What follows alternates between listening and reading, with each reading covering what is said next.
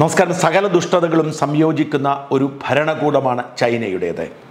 ഭൂവിസ്തൃതിയിൽ അവർക്കുള്ള മേന്മ ജനസംഖ്യയിൽ അവർക്കുള്ള മേൽക്കൈ സ്വേച്ഛാധിപത്യ ഭരണകൂടം കമ്മ്യൂണിസത്തിന്റെ മനുഷ്യവിരുദ്ധത. ഇതൊക്കെ കൃത്യമായി ഉപയോഗിച്ചെടുത്ത് സാമ്പത്തികമായി നേടിയെടുത്ത അഭിവൃദ്ധി. ഇതെല്ലാം ചൈന എന്ന് പറയുന്ന രാജ്യത്തെ മനുഷ്യവിരുദ്ധമാക്കിക്കൊണ്ടിരിക്കുന്നു. ജനതയ്ക്ക് പ്രതികരിക്കാനുള്ള അവകാശം പോലുമില്ല. പ്രതികരിച്ചാൽ അവരുടെ മേൽ ടാങ്കുകൾ കയറ്റി കൊല്ലും കോവിഡ് അടക്കമുള്ള കാര്യങ്ങളുടെ പേരിൽ ഇപ്പോൾ ഉണ്ട്. ഭരണകൂടത്തിനെതിരെ ഉയർന്നുകൊണ്ടിരിക്കുന്ന പ്രതിഷേധങ്ങളെ യന്ത്രത്തോക്കുകൾ കൊണ്ടാണ് കൈകാര്യം ചെയ്യുന്നത്. ചൈനീസ് മാധ്യമങ്ങൾ ഭരണകൂടത്തിന്റെ ഷൂ നക്കുകളായതുകൊണ്ട് ഈ വാർത്തയൊന്നും ലോകമറിയുന്നുമില്ല. വിദേശ മാധ്യമങ്ങൾക്ക് അവിടെ കടുത്ത നിയന്ത്രണമാണ്. അതുകൊണ്ട് ഇരുമ്പ് മറയിട്ട് സുരക്ഷിതമായി കാക്കുന്ന ചൈനയിൽ എന്തു സംഭവിക്കുന്നു എന്ന് പുറം ലോകമറിയാൻ ഏറെ വൈകുന്നു. ചൈന ഇപ്പോൾ അധികാര അതിമോഹത്തിന്റെ പിടിയിലാണ്. അവർക്ക് ലോക പോലീസിന്റെ കുപ്പായം തലയിൽ വെക്കണം. ആ കിരീടം ഇപ്പോൾ തലയിലിരിക്കുന്ന അമേരിക്കയോട് നേരിട്ട് ഏറ്റുമുട്ടാൻ അവർ ഒരുക്കമല്ല. നേരെ മറിച്ച് ചില ഗുണ്ടകൾ തിണ്ണമെടുക്ക് കാട്ടി കേമത്തം നടിക്കുന്നത് പോലെ അയൽ രാജ്യങ്ങളുടെ മേൽ മെക്കിട്ട് കയറുകയാണ് ചൈന. അത്തരത്തിൽ ചൈനയുടെ തുടർച്ചയായ അഗ്രഷന് ഇരയാവുന്ന രാജ്യമായി നിർഭാഗ്യവശാൽ നമ്മുടെ മാതൃരാജ്യവും മാറിയിരിക്കുന്നു. ഇന്ത്യയാണ് അവരുടെ ടാർഗറ്റുകളിൽ ഒന്ന് മൂവായിരത്തി നാനൂറ്റി നാൽപ്പത് കിലോമീറ്റർ അതിർത്തി പങ്കിടുകയാണ് ഇന്ത്യയും ചൈനയും തമ്മിൽ. ഈ അതിർത്തികളൊക്കെ നദികളും പുഴകളും തടാകങ്ങളും മഞ്ഞുമലകളും ഒക്കെ ഉള്ളതുകൊണ്ട് അതിർത്തിയിൽ അങ്ങോട്ടും ഇങ്ങോട്ടും കടന്നു കയറുക എളുപ്പമാണ്.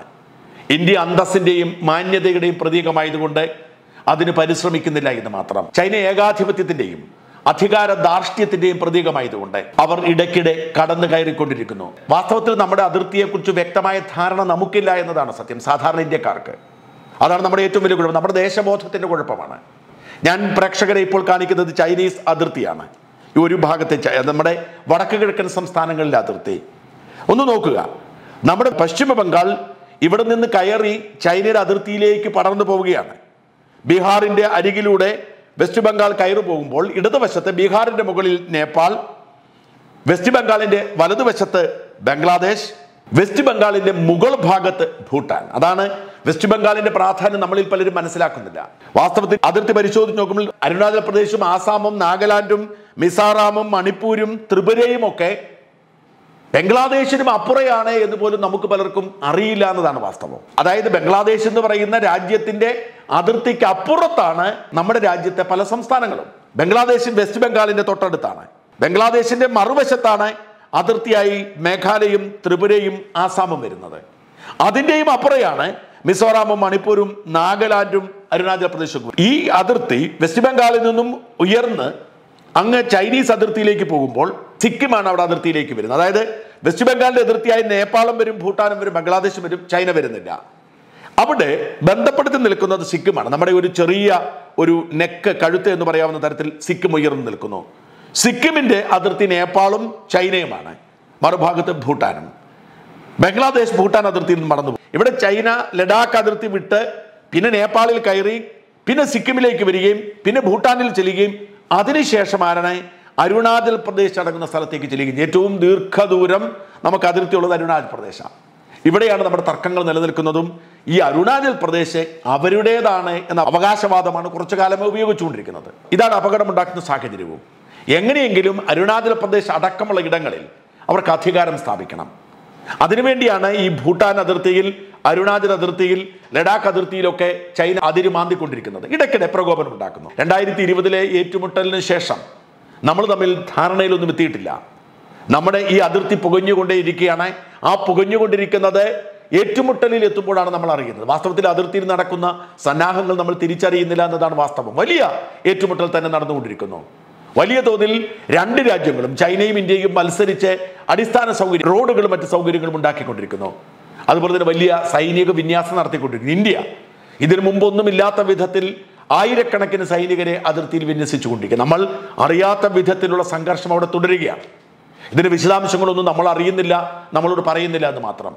പ്രതിപക്ഷമാവട്ടെ ഇത് മനസ്സിലാക്കാതെ ലോക്സഭയിലും രാജ്യസഭയിലും ബഹളം വെച്ചുകൊണ്ടിരിക്കുന്നു. പക്ഷേ രാജ്യം ഉത്തരവാദിത്തത്തോടുകൂടി ചൈനയുടെ ഏതു നിമിഷവും ഉണ്ടാകാനുള്ള കടന്നുകയറ്റത്തെ ഒരുപക്ഷെ യുദ്ധത്തെ നേരിടാൻ തയ്യാറെടുത്തുകൊണ്ടിരിക്കുകയാണ്. നമ്മുടെ പട്ടാളത്തിന്റെ ഉത്തരവാദിത്തമാണ് അവർ ആ ഉത്തരവാദിത്തം ഭംഗിയായി നിറവേറ്റിക്കൊണ്ടിരിക്കുന്നു. നമ്മൾ മനസ്സിലാക്കുന്നതിനപ്പുറത്തുള്ള സംഘർഷാവസ്ഥ അവിടെ ഉണ്ട് ചൈന എന്തോ കൽപ്പിച്ചുകൊണ്ട് അതിര് മാന്തിക്കൊണ്ടിരിക്കുന്നു. അവരുടെ അതിര് വലുതാക്കൽ സ്വപ്നം തുടരുകയാണ്. ഈ സംഘർഷം ഉണ്ടാവുമ്പോൾ ചില വാർത്തകൾ വരും പ്രതിപക്ഷത്തിന് വിമർശനം വരും എന്നതിനപ്പുറത്തേക്ക് നമുക്കിതിന് ഗൗരവം അറിയില്ല. എന്നാൽ വിദേശ മാധ്യമങ്ങളിൽ ഗൗരവത്തോടുകൂടി വാർത്ത വരുന്നുണ്ട്. ഞാൻ ഇന്ന് ഡെയിലി മെയിൽ എന്ന പത്രത്തിന്റെ വാർത്ത വായിക്കുമ്പോൾ അതിന് തലക്കെട്ട് crisis in the top of the world എന്നാണ്. ലോകത്തിന്റെ ഉച്ചയിൽ വലിയ പ്രതിസന്ധി എന്നാണ്. നമ്മൾ അത് ഗൗരവത്തോടെ കാണുന്നില്ലെങ്കിലും പാശ്ചാത്യ മാധ്യമങ്ങൾ അത് ഗൗരവത്തോടെ കാണുന്നുണ്ട്. പാശ്ചാത്യ മാധ്യമങ്ങളുടെ പിന്തുണ കാര്യമായി തന്നെ ഇന്ത്യക്കുമുണ്ട് അതൊരു പക്ഷേ ഇന്ത്യയുടെ ഒരു ഡിപ്ലോമാറ്റിക് വിജയമായി തന്നെ നമുക്ക് വിശേഷിപ്പിക്കേണ്ടി വരും. കാരണം ചൈനയുടെ ലക്ഷ്യം ഇന്ത്യ മാത്രമല്ല. ചൈന അതിർത്തിക്ക് ചുറ്റും മാന്തിക്കൊണ്ടിരിക്കുകയാണ്. സൗത്ത് ചൈന സീയുടെ മാപ്പാണ് ഞാൻ പ്രേക്ഷകരെ ഇപ്പോൾ കാണിക്കുന്നത്. നോക്കുക. ചൈനയ്ക്ക് അയൽപക്കങ്ങൾ കടലിലൂടെയാണെങ്കിൽ പോലും എത്രയോ അയൽ രാജ്യങ്ങളുണ്ട്. അവരുടെ തൊട്ടടുത്ത് തന്നെ വിയറ്റ്നാം കിടക്കുന്നു. താഴെ മലേഷ്യയുണ്ട് അതിന് താഴെ സിംഗപ്പൂരുണ്ട് അപ്പുറത്ത് ഇന്തോനേഷ്യ ഉണ്ട് നടുക്ക് ഫിലിപ്പീൻസ് ഉണ്ട് ഇത്തരം രാജ്യങ്ങളുമായി ഒക്കെ അവർക്ക് തർക്കം നടക്കുക. ഫിലിപ്പീൻസുമായി അവർക്ക് വലിയ പ്രശ്നമാണ്. ഇന്ന് കണ്ടൊരു വാർത്ത. ഈ ഫിലിപ്പീൻസ് അവകാശം ഉന്നയിച്ചുകൊണ്ടിരിക്കുന്ന ഒരു തർക്ക ദ്വീപ് സ്പാട്ട്ലി എന്ന് പറയുന്ന ദ്വീപിൽ ചൈന വലിയ നിർമ്മാണ പ്രവർത്തനങ്ങൾ നടത്തുന്നു എന്നതാണ്. ഈ സൗത്ത് സീയിൽ നിരവധി തർക്കങ്ങളുണ്ട് നിരവധി രാജ്യങ്ങളുമായി ബ്രൂണയുമായി പോലും അവർക്ക് തർക്കമുണ്ട്. അവിടെ ഈ സൗത്ത് സീ ചൈനയുടേത് മാത്രമാക്കാൻ അവർ ശ്രമിച്ചുകൊണ്ടിരിക്കുന്നു. കടലിന്റെ അതിർത്തി എപ്പോഴും ആ രാജ്യത്തിലേക്കൊരു ഭാഗം അവർക്കുള്ളതാണ്. എന്നാൽ ഇത് ഞങ്ങളുടേതാണ്. ഞങ്ങൾക്ക് മാത്രമാണ് അവകാശം എന്നാണ് ചൈനയുടെ നിലപാട്. ഈ സ്പാട്ട്ലി എന്ന് പറയുന്ന ദ്വീപിൽ അവർ വലിയ നിർമ്മാണ പ്രവർത്തനങ്ങൾ നടത്തുന്നു. അവിടെ ഇൻഫ്രാസ്ട്രക്ചർ വളർത്തുന്നു. എന്നൊരു പേരിൽ ഫിലിപ്പൈൻസിന്റെ പ്രതിഷേധം ഉയർന്നു വന്നിരിക്കുന്നു. ഞാൻ ഈ ഈ പറയുന്ന ഇന്തോനേഷ്യ അടക്കമുള്ള രാജ്യങ്ങളുടെ പ്രതിഷേധം മുംബൈ ഉണ്ട്. വീണ്ടും ആ മാപ്പിലേക്ക് നോക്കുക. ഹോങ്കോങ്ങും തായ്വാനും. ഹോങ്കോങ് ചൈനയുടെ അതിർത്തി പങ്കിടുന്ന പ്രവിശ്യയാണ്.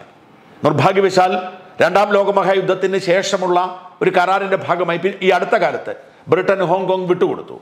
ഹോങ്കോങ്ങിന്റെ പരമാധികാരത്തിന്റെ മേലുള്ള ഇടപെടൽ. അവർക്കുണ്ടാക്കുന്ന പ്രതിസന്ധി നിസ്സാരമൊന്നുമല്ല.